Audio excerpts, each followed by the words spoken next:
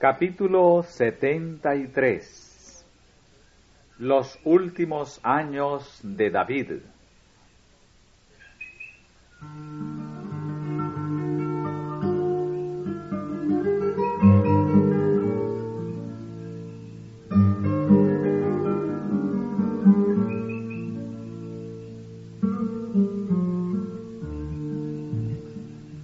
La derrota de Axalón no trajo inmediatamente la paz al reino.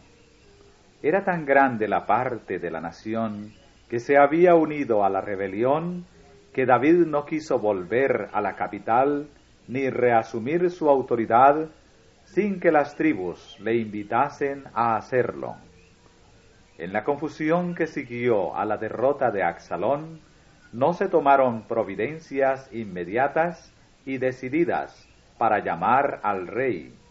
Y cuando al fin la tribu de Judá inició el plan de hacer volver a David, se despertaron los celos de las otras tribus, y como consecuencia se desató una contrarrevolución. Pero esta fue rápidamente sofocada, y la paz volvió a reinar en Israel.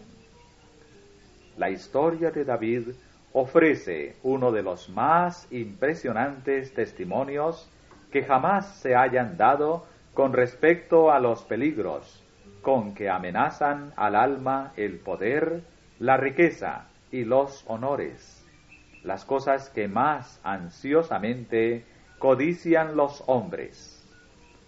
Pocos son los que pasaron alguna vez por una experiencia mejor adaptada para prepararlos para soportar una prueba semejante. La juventud de David como pastor, con sus lecciones de humildad, de trabajo paciente y de cuidado tierno por los rebaños, la comunión con la naturaleza en la soledad de las colinas, que desarrolló su genio para la música y para la poesía y dirigió sus pensamientos hacia su Creador, la prolongada disciplina de su vida en el desierto, que le hacían manifestar valor, fortaleza, paciencia y fe en Dios, habían sido cosas de las que el Señor se valió en su preparación para ocupar el trono de Israel. David había tenido preciosas indicaciones del amor de Dios y había sido abundantemente dotado de su espíritu. En la historia de Saúl había visto cuán absolutamente inútil es la sabiduría meramente humana.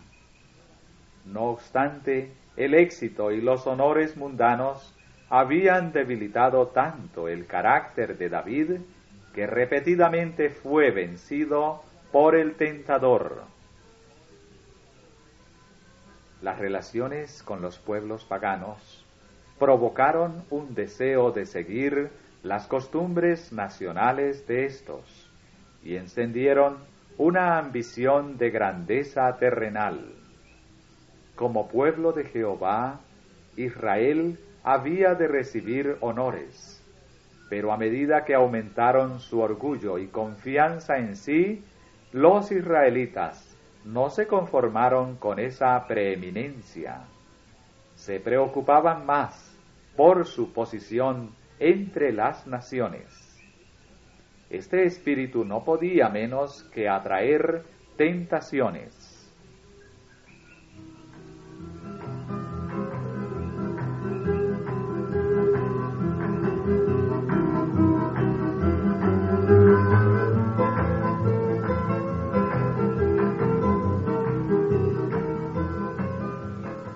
con el objeto de extender sus conquistas entre las naciones extranjeras, David decidió aumentar su ejército y requerir servicio militar de todos los que tuviesen edad apropiada. Para llevar a cabo este proyecto fue necesario hacer un censo de la población. El orgullo y la ambición fueron lo que motivó esta acción del rey. El censo del pueblo revelaría el contraste que había entre la debilidad del reino cuando David ascendió al trono y su fortaleza y prosperidad bajo su gobierno. Esto tendería aún más a fomentar la ya excesiva confianza en sí que sentían tanto el rey como el pueblo. Las escrituras dicen, Satanás se levantó contra Israel e incitó a David a que contase a Israel. La prosperidad de Israel bajo el gobierno de David se debía más a la bendición de Dios que a la habilidad de su rey o a la fortaleza de su ejército. Pero el aumento de las fuerzas militares del reino daría a las naciones vecinas la impresión de que Israel confiaba en sus ejércitos y no en el poder de Jehová. Aunque el pueblo de Israel sentía orgullo de su grandeza nacional, no vio con buenos ojos el proyecto de David de extender tanto el servicio militar. La leva propuesta causó mucho descontento. En consecuencia, se creyó necesario emplear los oficiales militares en lugar de los sacerdotes y magistrados que anteriormente habían tomado el censo. El objeto de esta empresa era directamente contrario a los principios de la teocracia. Aún Joad protestó a pesar de que hasta entonces se había mostrado tan sin escrúpulos. Dijo él, añada Jehová a su pueblo cien veces otros tantos. Rey Señor mío, ¿No son todos estos siervos de mi Señor? ¿Para qué procura mi Señor esto, que será pernicioso a Israel? Mas el mandamiento del rey pudo más que Joad. Salió por tanto Joad, y fue por todo Israel, y volvió a Jerusalén. Aún no se había terminado el censo, cuando David se convenció de su pecado, condenándose a sí mismo, dijo, He pecado gravemente en hacer esto. Ruégote que hagas pasar la iniquidad de tu siervo, porque yo he hecho muy locamente. A la mañana siguiente, el profeta Gad le trajo a David un mensaje. Así ha dicho Jehová, escógete o tres años de hambre o de ser por tres meses deshecho delante de tus enemigos, y que la espada de tus adversarios te alcance. O por tres días la espada de Jehová y pestilencia en la tierra, y que el ángel de Jehová destruya en todo el término de Israel Mira pues qué he de responder al que me ha enviado. La contestación del rey fue, En grande angustia estoy. Ruego que caiga en la mano de Jehová, porque sus miseraciones son muchas, y que no caiga yo en manos de hombres. La tierra fue herida por una pestilencia, que destruyó a setenta mil personas en Israel. La pestilencia no había llegado a la capital cuando alzando David sus ojos vio al ángel de Jehová, que estaba entre el cielo y la tierra, teniendo una espada desnuda en su mano, extendida contra Jerusalén. Entonces David y los ancianos se postraron sobre sus rostros cubiertos de sacos. El rey imploró a Dios en favor de Israel. ¿No soy yo el que hizo contra el pueblo? Yo mismo soy el que pequé y ciertamente he hecho mal. Mas estas ovejas ¿qué han hecho? Jehová, Dios mío, sea ahora tu mano contra mí y contra la casa de mi padre, y no haya plaga en tu pueblo.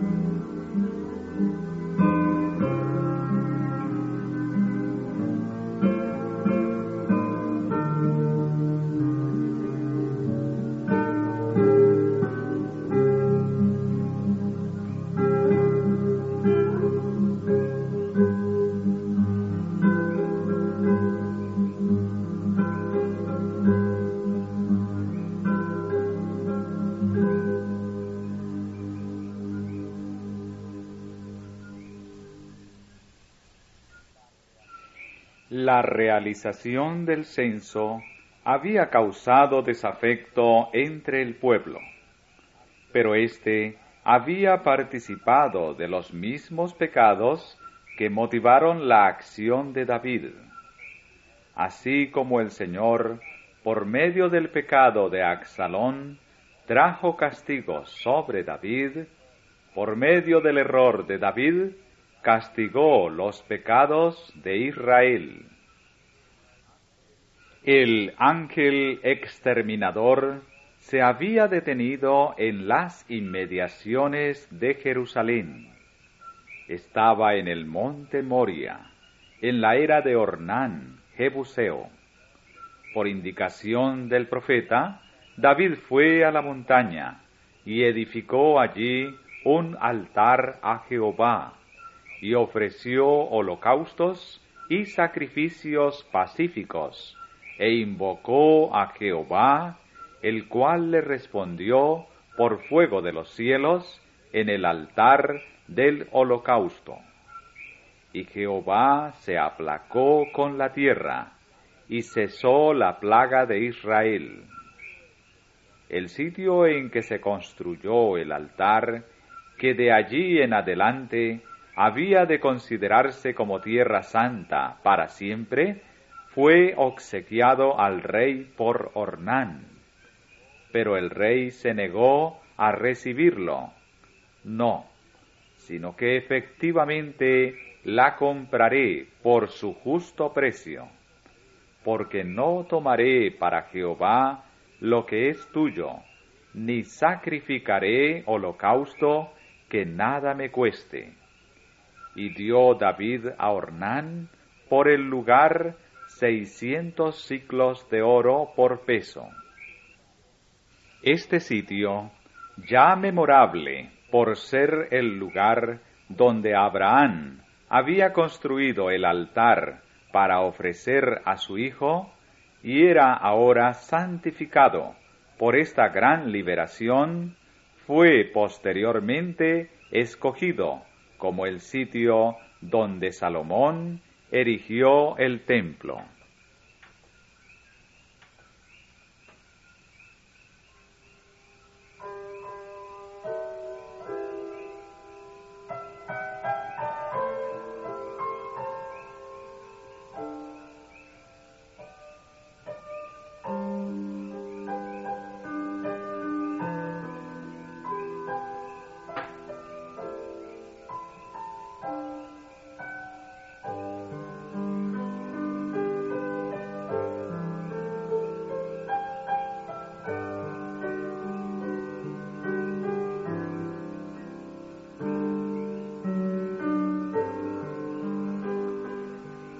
Otra sombra aún había de oscurecer los últimos años de David.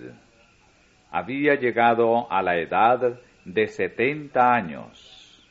Las penurias y vicisitudes de su vida errante en los días de su juventud, sus muchas guerras, los cuidados y las tribulaciones de sus años ulteriores habían minado su vitalidad.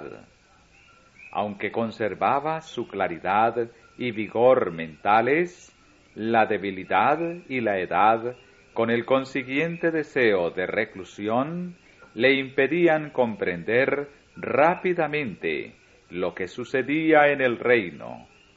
Y nuevamente surgió la rebelión a la sombra misma del trono. Otra vez se manifestó el fruto de la complacencia paternal de David. El que ahora aspiraba al trono era Adonía, hombre de hermoso parecer, en su persona y porte, pero sin principios de ninguna clase y temerario. En su juventud se le había sometido a muy poca restricción y disciplina, pues su padre nunca lo entristeció en todos sus días con decirle, ¿por qué haces así? Ahora se rebeló contra la autoridad de Dios que había designado a Salomón como sucesor de David en el trono. Tanto por sus dotes naturales como por su carácter religioso, Salomón estaba mejor capacitado que su hermano mayor para desempeñar el cargo de soberano de Israel. No obstante, aunque la elección de Dios había sido indicada claramente, Adonía no dejó de encontrar adherentes. Joad, aunque culpable de muchos crímenes, había sido hasta entonces leal al trono, pero ahora se unió a la conspiración contra Salomón, como también lo hizo Abiatar, el sacerdote. La rebelión estaba madura. Los conspiradores se habían reunido en una gran fiesta en las cercanías de la ciudad para proclamar rey a Adonía, cuando sus planes fueron frustrados por la rápida acción de unas pocas personas fieles, entre las cuales las principales eran Sadoc, el sacerdote, Natán el profeta y Bexabé la madre de Salomón. Estas personas presentaron al rey cómo iban las cosas y le recordaron la instrucción divina de que Salomón debería sucederle en el trono. David abdicó inmediatamente en favor de Salomón, quien fue enseguida ungido y proclamado rey. La conspiración fue aplastada. Sus principales actores habían incurrido en la pena de muerte. Se le perdonó la vida a Abiatar por respeto a su cargo y a su antigua fidelidad hacia David, pero fue destituido del puesto de sumo sacerdote, que pasó al linaje de Sadoc. A Joad y Adonía se les perdonó por el momento, pero después de la muerte de David sufrieron la pena de su crimen. La ejecución de la sentencia en la persona del hijo de David completó el castigo cuádruple que atestiguaba el aborrecimiento en que Dios tenía el pecado del Padre.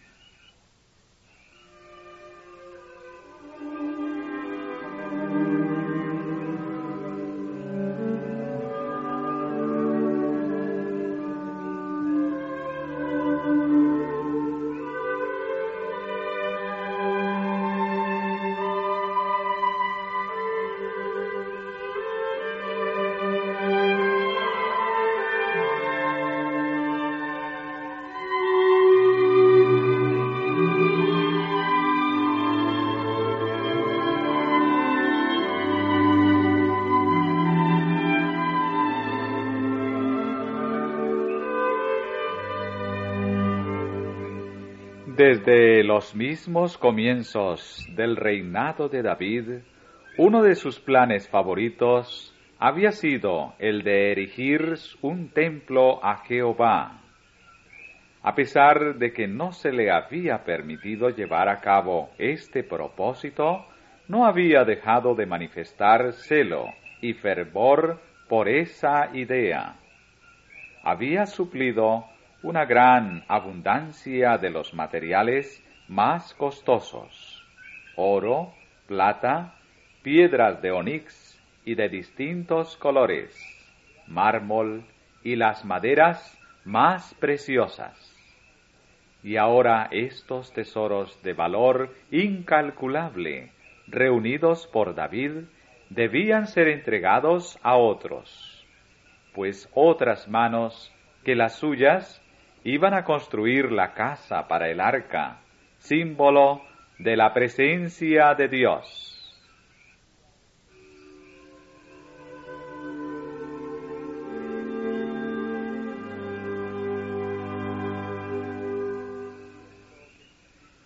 Viendo que su fin se acercaba, el rey hizo llamar a los príncipes de Israel y a hombres representativos de todas las partes del reino, para que recibieran este legado en calidad de depositarios.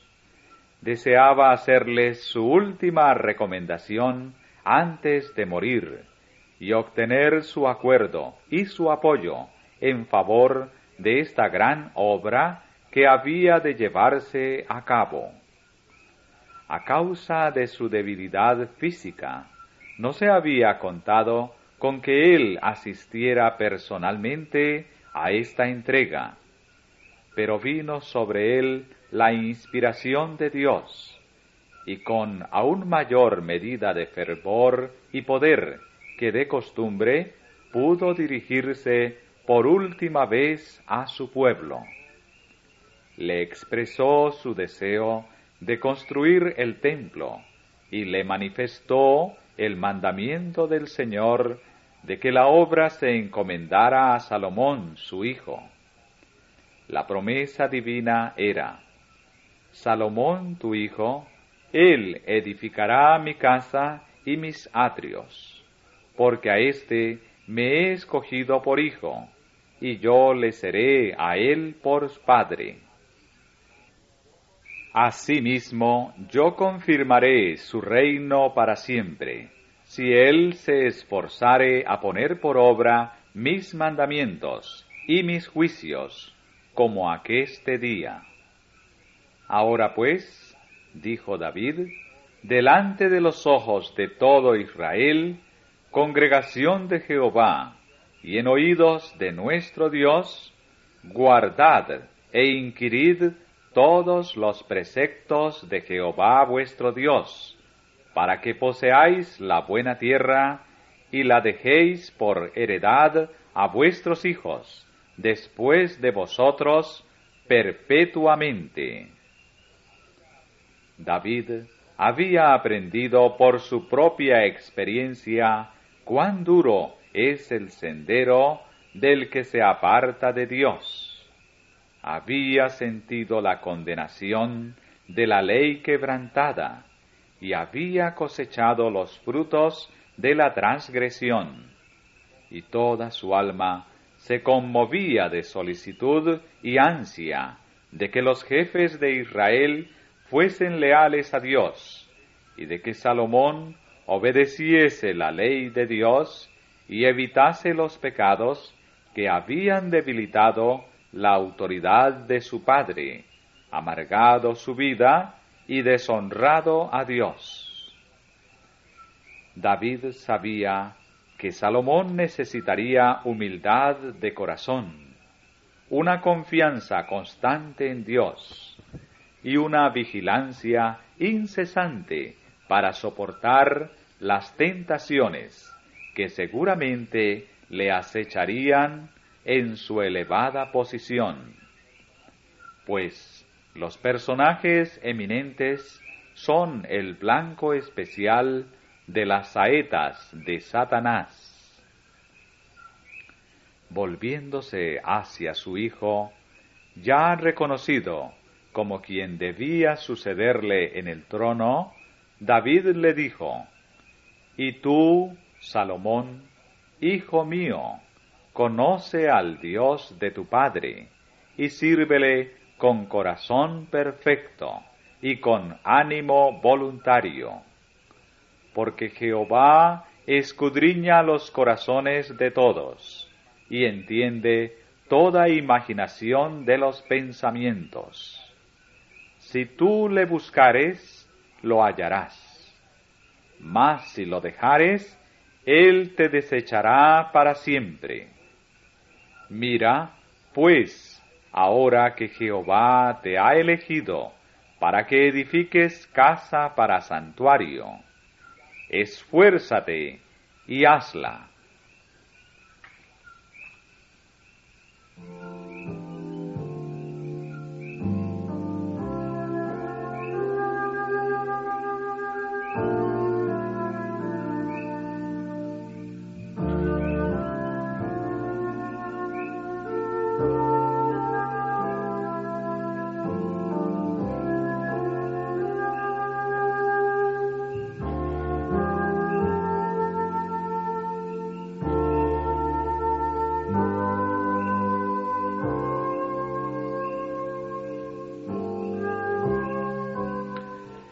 David dio a Salomón instrucciones minuciosas para la construcción del templo con modelos de cada una de las partes y de todos los instrumentos de servicio, tal como se los había revelado la inspiración divina. Salomón era todavía joven y habría preferido rehuir las pesadas responsabilidades que le incumbirían en la erección del templo y en el gobierno del pueblo de Dios. David dijo a su hijo, Anímate y esfuérzate y ponlo por obra. No temas ni desmayes, porque el Dios Jehová, mi Dios, será contigo. Él no te dejará ni te desamparará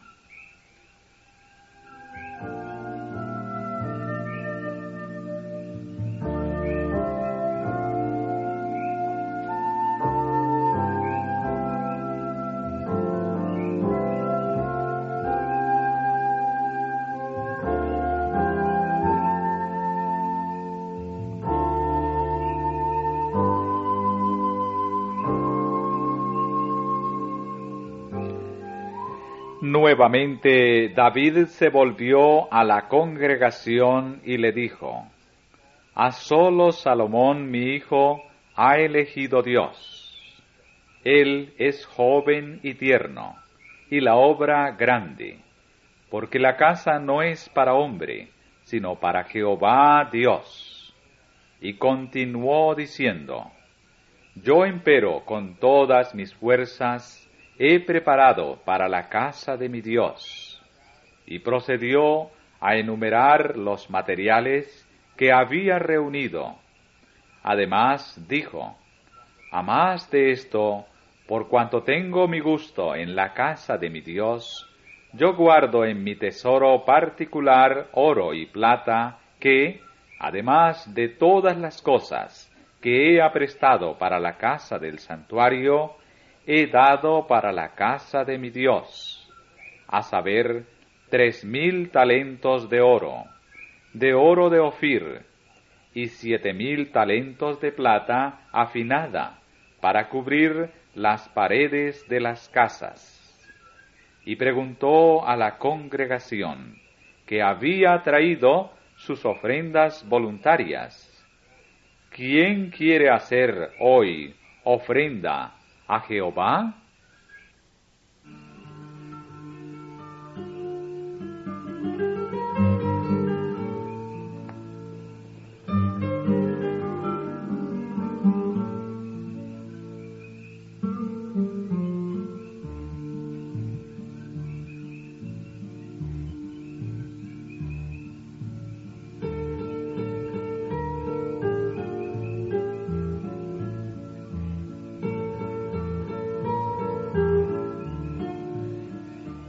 asamblea respondió con buena voluntad. Entonces los príncipes de las familias y los príncipes de las tribus de Israel, tribunos y centuriones, con los superintendentes de la hacienda del rey, ofrecieron de su voluntad y dieron para el servicio de la casa de Dios cinco mil talentos de oro y diez mil sueldos y diez mil talentos de plata y dieciocho mil talentos de metal y cinco mil talentos de hierro. Y todo el que se halló con piedras preciosas, diólas para el tesoro de la casa de Jehová. Y holgóse el pueblo de haber contribuido de su voluntad, porque con entero corazón ofrecieron a Jehová voluntariamente.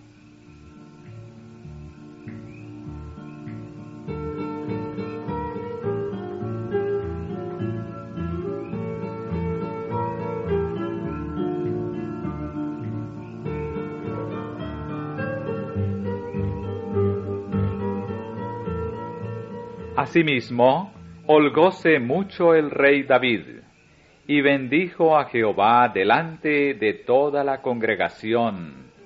Y dijo David, Bendito seas tú, oh Jehová, Dios de Israel nuestro Padre, de uno a otro siglo. Tuya es, oh Jehová, la magnificencia, y el poder, y la gloria, la victoria, y el honor.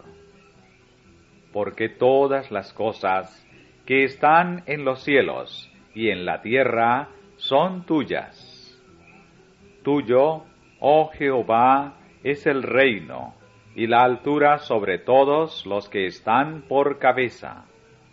Las riquezas y la gloria están delante de ti, y tú señoreas a todos, y en tu mano está la potencia y la fortaleza, y en tu mano la grandeza y fuerza de todas las cosas.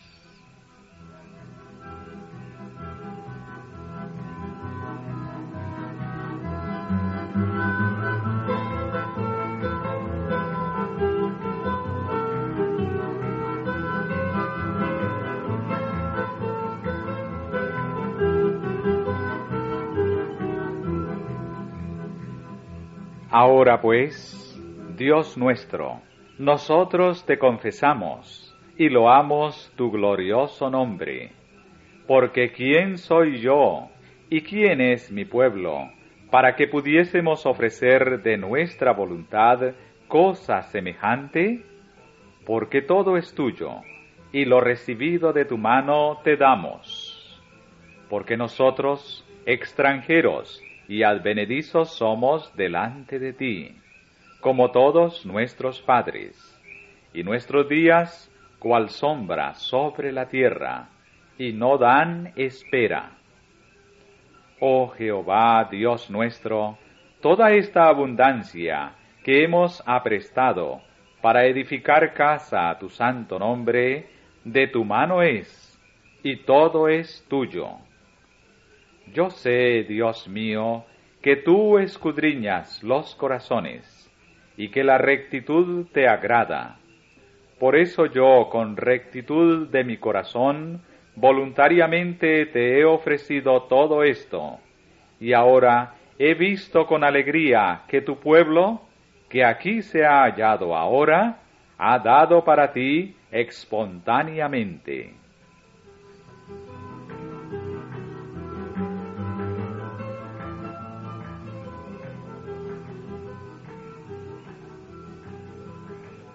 Jehová, Dios de Abraham, de Isaac y de Israel, nuestros padres, conserva perpetuamente esta voluntad del corazón de tu pueblo y encamina su corazón a ti.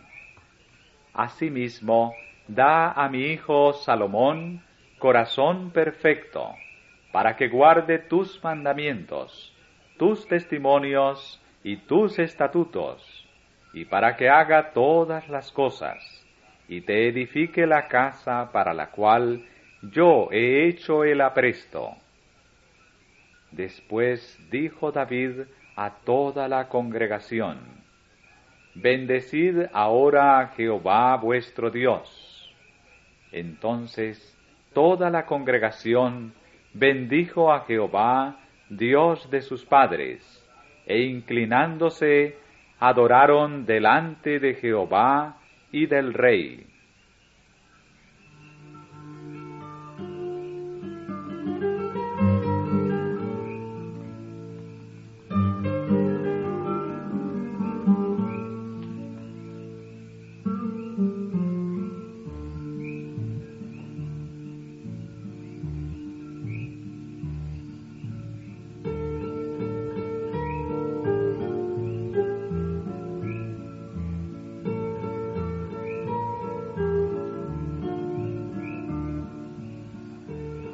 Con el interés más profundo, el rey había reunido aquellos preciosos materiales para la construcción y para el embellecimiento del templo. Había compuesto los signos gloriosos que en los años venideros habrían de resonar por sus atrios. Ahora su corazón se regocijaba en Dios al ver como los principales de los padres y los caudillos de Israel respondían tan noblemente a su solicitud y se ofrecían para llevar a cabo la obra importante que los esperaba. Y mientras daban su servicio, estaban dispuestos a hacer más. Añadieron al tesoro más ofrendas de su propio caudal.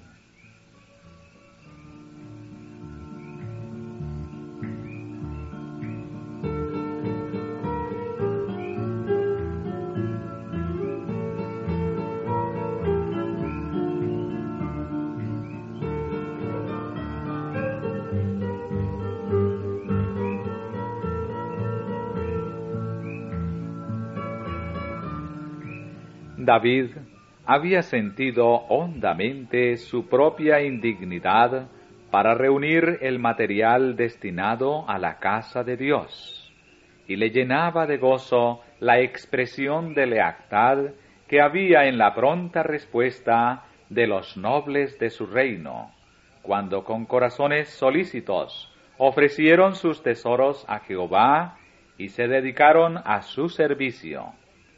Pero sólo Dios era el que había impartido esa disposición a su pueblo. Sólo él y no el hombre debía ser glorificado. Era él quien había provisto al pueblo con las riquezas de la tierra, y su espíritu les había dado buena voluntad para traer sus cosas preciosas en beneficio del templo. Todo era del Señor, y si su amor no hubiese movido los corazones del pueblo, los esfuerzos del rey habrían sido en vano, y el templo no se habría construido.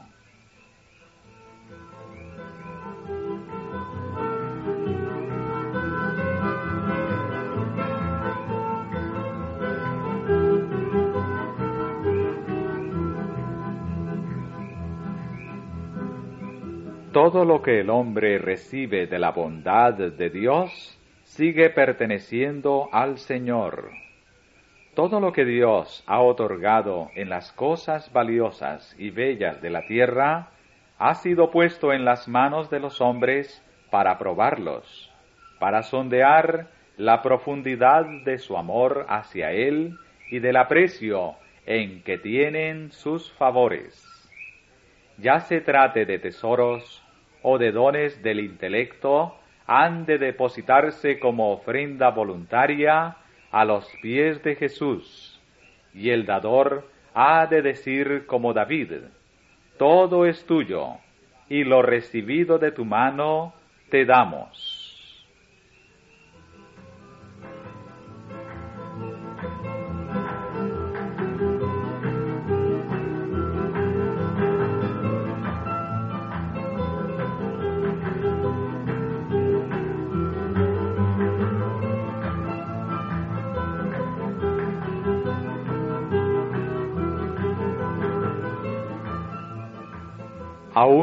Cuando sintió que se acercaba su muerte, siguió preocupándose David por Salomón y el reino de Israel, cuya prosperidad iba a depender en gran manera de la fidelidad de su rey. Entonces mandó a Salomón su hijo diciendo, Yo voy el camino de toda la tierra, esfuérzate y sé varón. Guarda la ordenanza de Jehová tu Dios, andando en sus caminos y observando sus estatutos y mandamientos, y sus derechos y sus testimonios, para que seas dichoso en todo lo que hicieres y en todo aquello a que te tornares, para que confirme Jehová la palabra que me habló diciendo, si tus hijos guardaren su camino, andando delante de mí con verdad, de todo su corazón y de toda su alma, jamás, dice, faltará a ti varón del trono de Israel.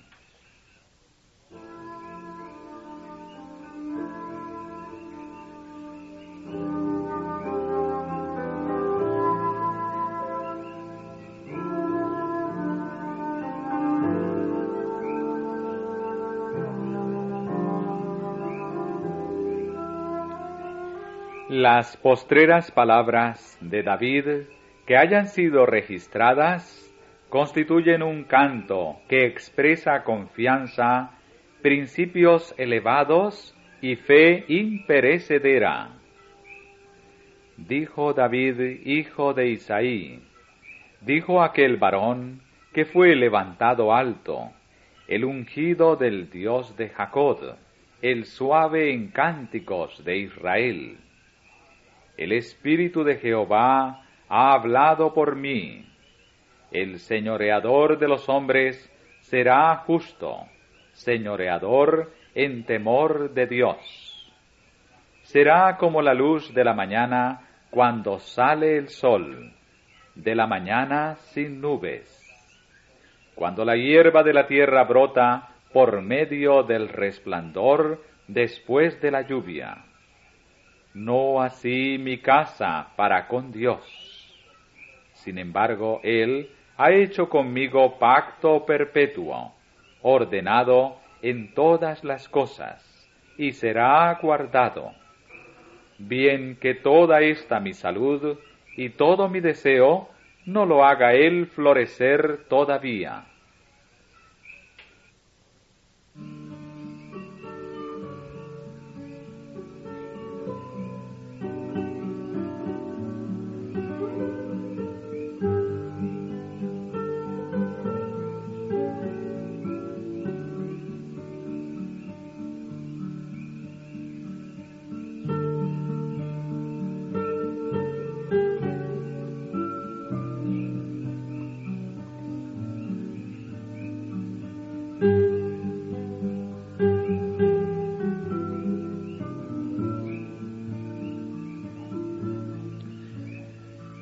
Grande había sido la caída de David, y profundo fue su arrepentimiento, ardiente su amor, y enérgica su fe.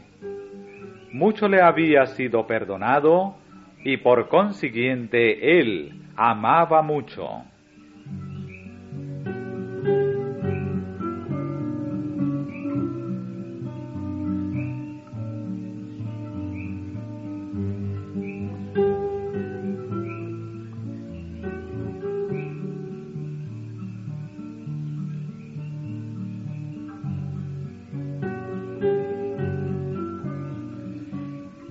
Salmos de David pasan por toda la gama de la experiencia humana, desde las profundidades del sentimiento de culpabilidad y condenación de sí hasta la fe más sublime y la más exaltada comunión con Dios.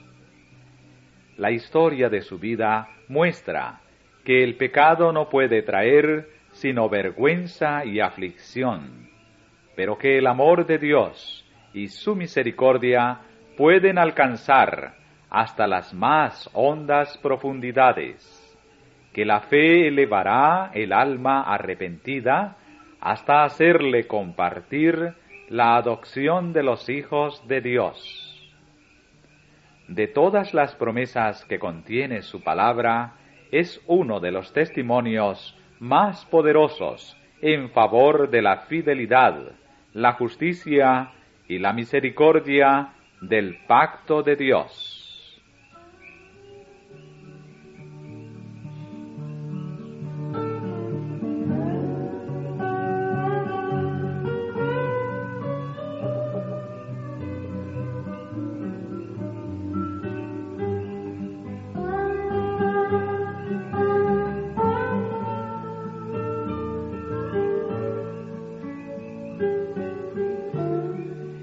El hombre huye como la sombra y no permanece, mas la palabra del Dios nuestro permanece para siempre. La misericordia de Jehová desde el siglo hasta el siglo sobre los que le temen, y su justicia sobre los hijos de los hijos, sobre los que guardan su pacto, y los que se acuerdan de sus mandamientos para ponerlos por obra. He entendido que todo lo que Dios hace, eso será perpetuo.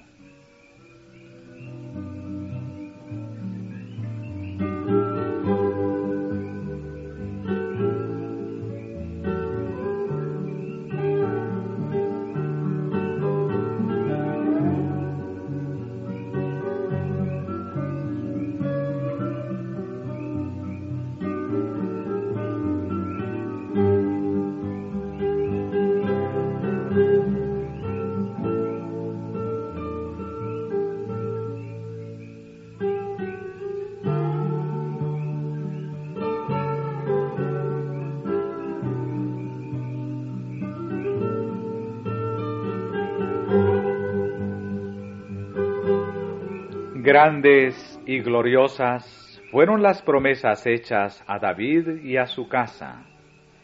Eran promesas que señalaban hacia el futuro, hacia las edades eternas, y encontraron la plenitud de su cumplimiento en Cristo.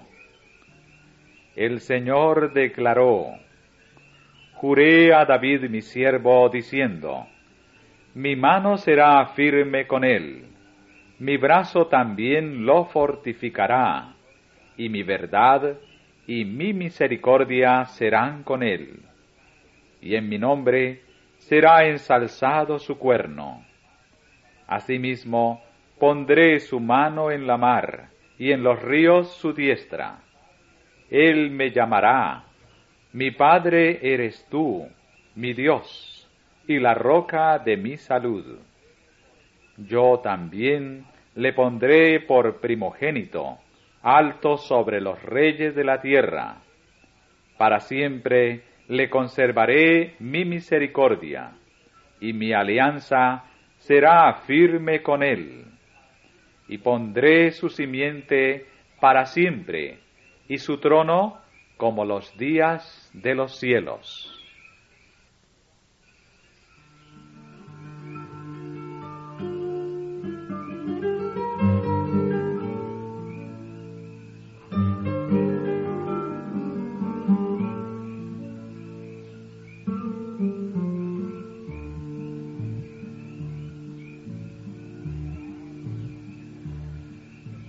Juzgará a los afligidos del pueblo, salvará a los hijos del menesteroso, y quebrantará al violento. Temerte han mientras duren el sol y la luna, por generación de generaciones. Florecerá en sus días justicia y muchedumbre de paz, hasta que no haya luna, y dominará de mar a mar y desde el río hasta los cabos de la tierra. Será su nombre para siempre. Perpetuaráse su nombre mientras el sol dure, y benditas serán en él todas las gentes. Llamarlo han bienaventurado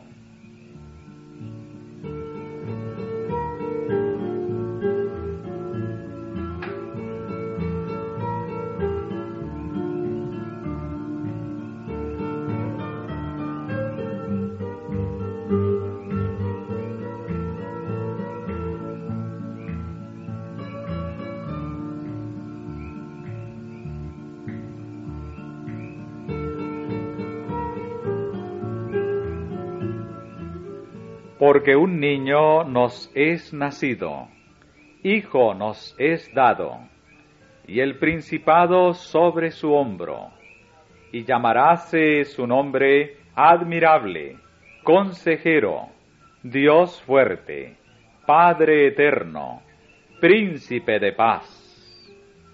Este será grande, y será llamado Hijo del Altísimo y le dará el Señor Dios el trono de David su padre, y reinará en la casa de Jacob por siempre, y de su reino no habrá fin.